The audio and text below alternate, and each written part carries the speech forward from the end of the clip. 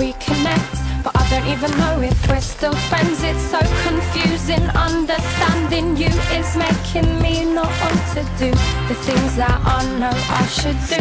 But I trip fast and then I lose, and I hate looking like a fool.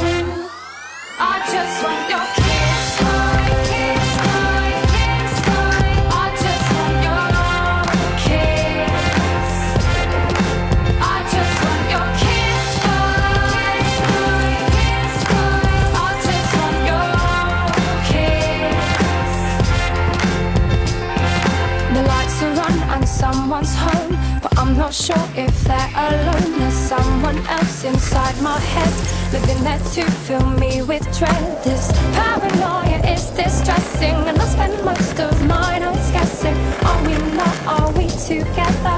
Will this make our life?